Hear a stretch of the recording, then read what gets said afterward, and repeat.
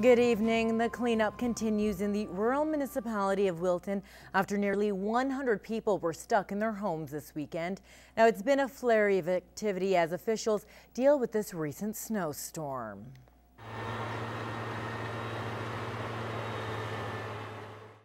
This was the scene Saturday. Just a look into some of the conditions the RM is facing right now with snowbanks up to 15 feet. Crews are busy. Recent uh, windstorm that we had over the last couple days has left us a little bit crippled.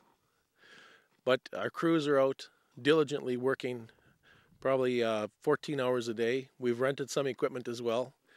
And you can see by what's behind me what we're uh, up against. Officials say crews will be working for the next five to seven days, cleaning any leftover snow. They hope to have most of it clear before melting begins. The negative sides of uh, water is that you're going to be seeing some, probably some extreme flooding, possibly endangering some buildings and houses as well. But um, we've been planning for two months to uh, minimize it, but of course you don't know until you, you're into the eye of the storm. The RM is asking for patience while local range roads are being cleared this week. Well, snow removal is almost complete here in the border city, and a big sporting event may be heading our way. Now, those were some of the topics at City Council today. Bart Padjasek has more. Today at Council, Public Works Director Kirk Morrison gave an update to the snow removal project that him and his team were involved in ever since the storm on Thursday night. He says most of the major roads and highways have been cleared with only a few residential streets still left. Right now, the response to the storm last week is complete and we're focused on completing our residential snow removal operations, which are anticipated to be complete in the next couple of three days. So uh, we're, ex we're excited about that, and we're excited for uh, it looks like some good Friday, good weather with positive temperatures. So. And as well, Council has approved to send out a letter of intent to bid for a chance to host the 2016 Alberta Winter Games. Next step then is to put together a committee that will uh, go through how it would be organized, what would the costs be involved uh, in a bid, and then to come to a final decision, do we want to put in a, a bid to, to actually host those games? I'll have updates on some of those stories tomorrow on Newcap News. The RCMP is warning residents about an email scam that could cost you thousands of dollars. Kim Smith tells us what you need to watch out for and how to protect yourself. The RCMP says it's an online scam that's been happening in Saskatchewan. First, your email is hacked. Then the suspect uses your information to write an email to your bank asking it to wire money from your account to another one. A local tech specialist says email hacking is becoming more common. I think people are just getting smarter. You know, with technology, the more tech that we use, the more chance there is of losing the information that you have stored on it. One local financial institution says it's received a couple fraudulent wire requests in the last few months.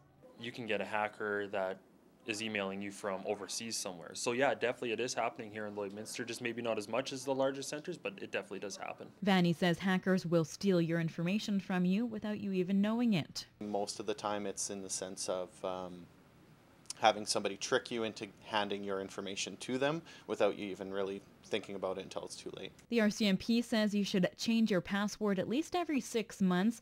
Make sure your antivirus software is up to date and think twice before including financial information in an email. And if you're skeptical about an email you've received from a bank, contact your local branch if we're ever in doubt of any instructions that we've received through email, we will follow up with the client with a phone call just to ensure, hey, did you just send this? And hey, do you really want to do this transaction? Meanwhile, this expert has a rule of thumb. If, you know, if you're unsure about an email, just delete it. You know, don't click on the links. If, if someone didn't say I sent you this, then chances are they didn't send it to you. Kim Smith, Newcap News. You may recall a story we brought you a short while ago about a young girl heading to Nashville to compete in an international singing competition. Well, the event has wrapped up and 15-year-old Cassidy Zahar is back at home in the Lakeland. And as Clayton Brown explains, she was accompanied on the trip back with some much-earned hardware. Don't toss us away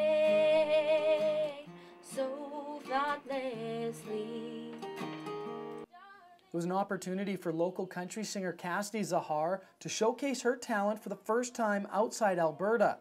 And what better place than the heart of country music, Nashville.